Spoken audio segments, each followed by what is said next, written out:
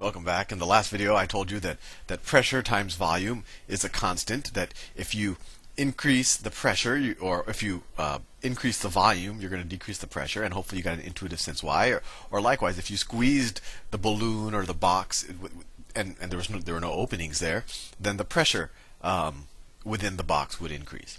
So with that said, let's see if we can do a couple of fairly typical problems that you'll see.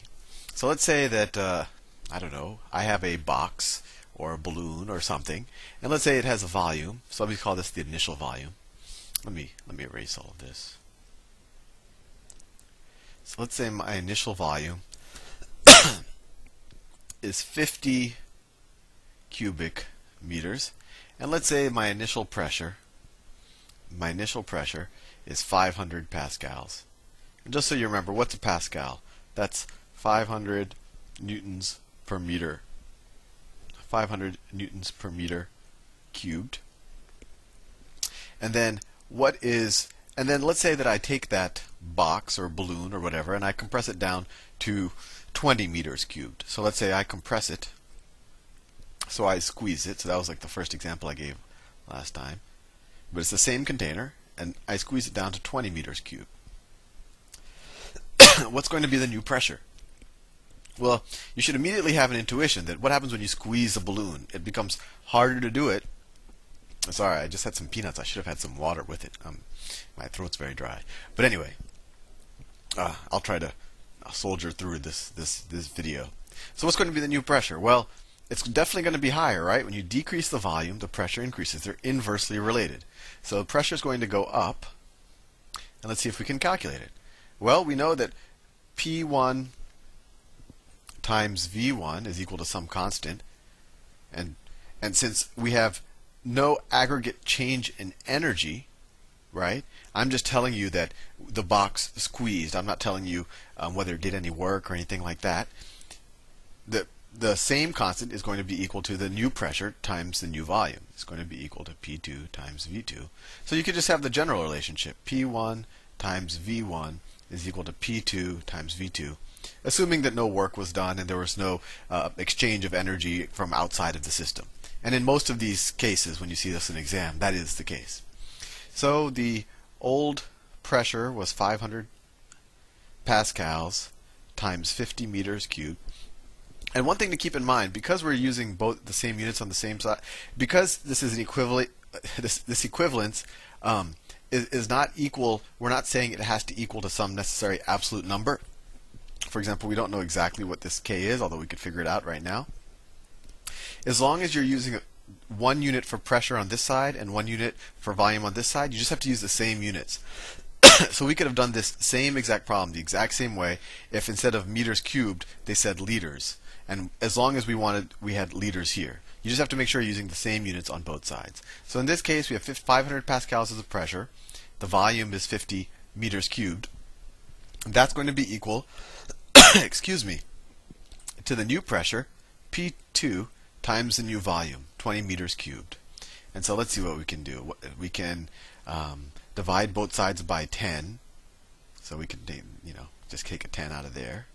And then we could divide both sides by 2 so that becomes a 250 and so we uh, we get 250 times 5 is equal to P2 and so P2 is equal to 1250 pascals and if we kept with the units you would have seen that so when I decreased the volume by um, more, you know, by roughly 60% is how much I decreased the volume. I have the pressure actually uh, increased by two and a half. So that that gels with what we talked about before. Now let's let's add another variable into this mix. Let's talk about temperature. And and like pressure and like volume and like work and a lot of concepts that we talk about in physics, temperature is something that you probably are at least reasonably familiar with, right? Temperature. I mean, you, well, how do you view temperature? Temperature, I think, if, if a high temperature means something is hot and a low temperature means something is cold, and I think you, that also gives you intuition that that a higher temperature object has more energy, right? Higher temperature has higher energy, right? The sun has more energy than a than an ice cube, right? I think that's fair enough. And I think you also have the sense that what what would have more energy? A uh, a hundred degree, a hundred degree. Um, let me think of something. Cup of tea. Cup of tea, or a or a hundred degree. Um, let me. I don't know. Vat of. Vat of you know barrel of tea.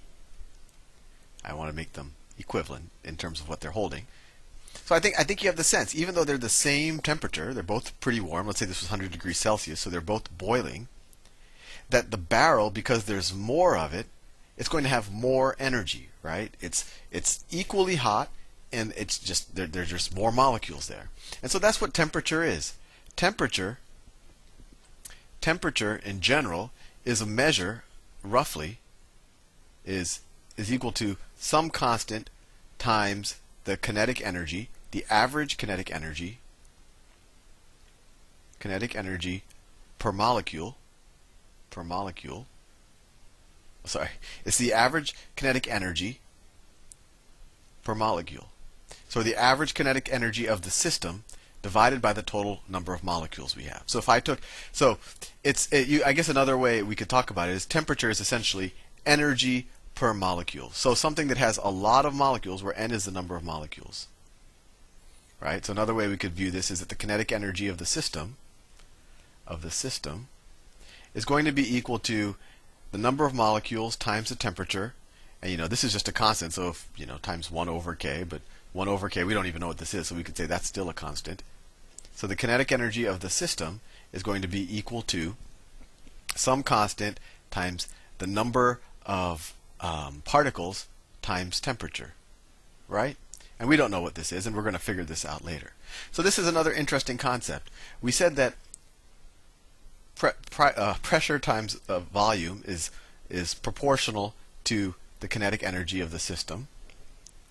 Of the system, the aggregate. If you take all of the molecules and combine their kinetic energies, and these aren't the same k's. I mean, I could put another constant here. I call that k1. And we also know we also know that that um, the kinetic energy of the system is equal to some other constant, I don't know, times the number of the number of um, the number of molecules I have times the temperature, right? So if you think about it, you could also say that you know this is proportional to this, and this is proportional to this. So you could say that pressure times volume is proportional to the number, and these are all different proportional constants. We'll figure out this exact constant later. But we could say that pressure times volume is proportional to the number of molecules we have times temperature. And we said kind of temperature is, is uh, we can kind of view it as energy per molecule. Or another way we could say it, if, if this constant is constant, which it is by definition, let me change the colors, and the number of molecules is constant, we have PV over temperature, pressure times volume over temperature, is going to be equal to something times the number of molecules. So we could say that's some other constant. I don't know, K4. So this is another interesting thing to think about. We said pressure times volume is equal to pressure times volume. Now we added temperature into the mix. So let's so let me clear this up. I think I got my throat back.